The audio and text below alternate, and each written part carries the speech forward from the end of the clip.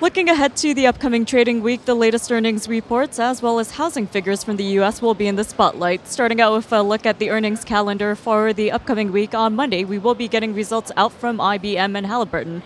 And on Tuesday, the earnings calendar shows uh, releases out from Bank of America, Coca Cola, as well as Apple and Yahoo. And in midweek trade in the upcoming week, on Wednesday, American Express, Intel, and BlackRock will be reporting their results.